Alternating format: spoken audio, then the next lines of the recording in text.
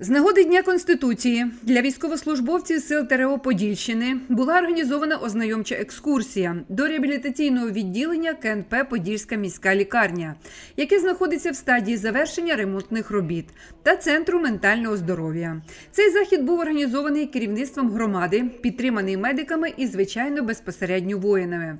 Адже саме тут вони мали можливість ознайомитись з тими потенціальними можливостями лікарні в системі реабілітації військових, яка існує.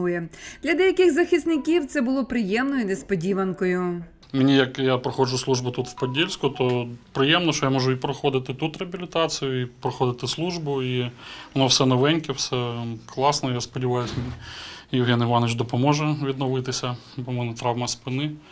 Е, Тобто дуже приємно, ми вам дякуємо. Це дорого коштує. Да. У вас тут е, молоді спеціалісти. У вас приємно здивовані такі тренажери, ремонтик, все класно зроблено.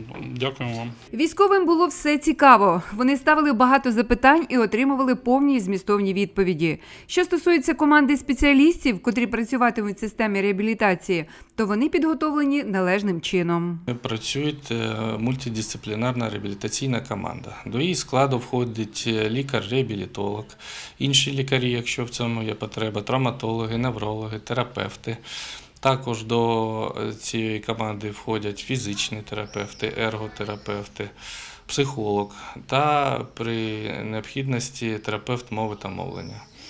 Щодо центру ментального здоров'я, то тут створені всі необхідні умови, аби і військові зі своїми сім'ями, і цивільні могли відновити своє ментальне здоров'я, що в реаліях сьогодення дуже необхідно. Центр відкритий, будь ласка, приходьте.